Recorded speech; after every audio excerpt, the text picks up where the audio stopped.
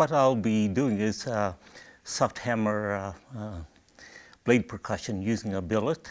I have a piece of uh, Georgetown flint from Texas, and uh, where I've removed one uh, large billet flake. Uh, the material is has not been heat treated.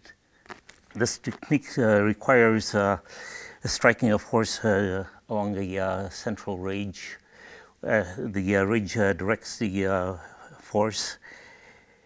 The difference is the striking platform on a um, billet flake as opposed to a hard hammer flake is much smaller.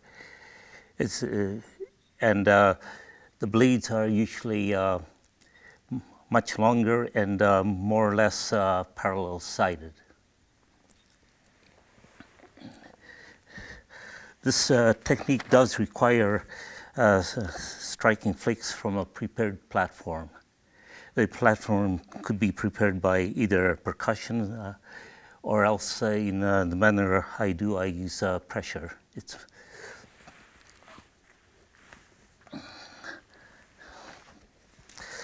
I've already removed some pressure flakes to to give the this ridge uh, the proper uh, alignment. It has to be straight or slightly curved.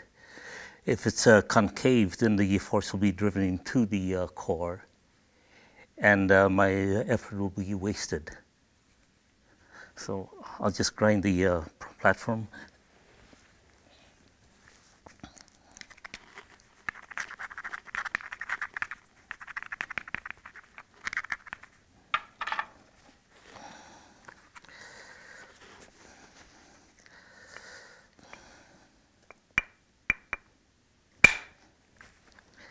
Ah, there's a good uh, flake that removed uh, quite a large uh, portion of the distal end.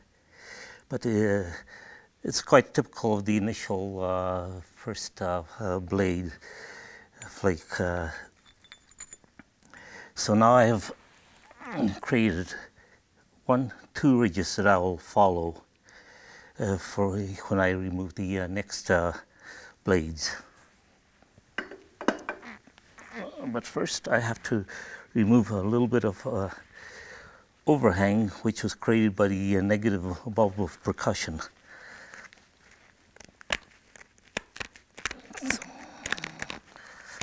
And you notice I'm using a different uh, style of pressure flaking than uh, Jason.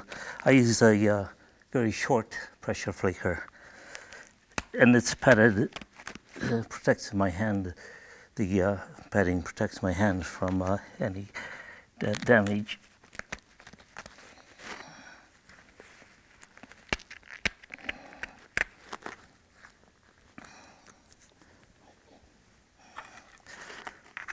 So I have to reinforce the uh, platform or else it'll crush when I deliver the blow. blow.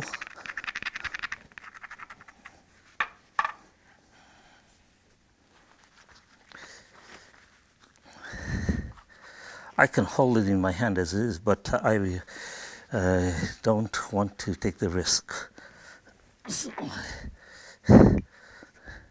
and uh, you really don't need a, a lot of uh, force when you're striking off blades. Oh, uh, there's another one. except uh, one problem, I uh, hit the um, the core a little bit off uh, the uh, platform and it, uh, the uh, blade went off, uh, off the uh, ridge.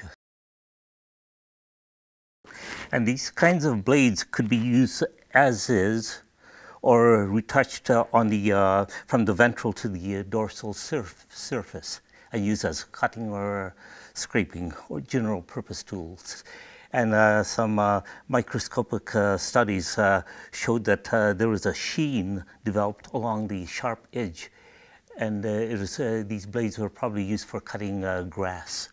So it's a very efficient means of utilizing the, the uh, material. The material is Georgetown flint. And uh, it's quite it's it's an amazing, uh, like a very efficient uh, means of utilizing. But where you find uh, this uh, technique uh, quite uh, quite say abundant is where there is an abundant source of flint. I, for this size of this kind of core, I prefer a heavy um, billet. If I was uh, to uh, use it on uh, something, uh, uh, billet on a core this small, uh, reduce the size of the, of the antler proportion.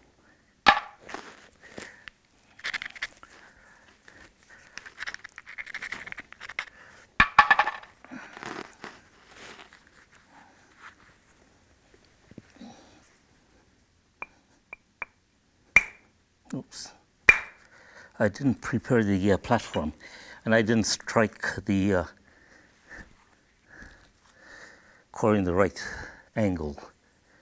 But the uh, my flake uh, hinged quite abruptly. And it's a, common uh, uh, failure. One um, means of correcting this uh, mistake is to come and remove a blade from this side and uh, hopefully it'll uh, clear up uh, this hinge and I can uh, uh, continue uh, removing blades from here.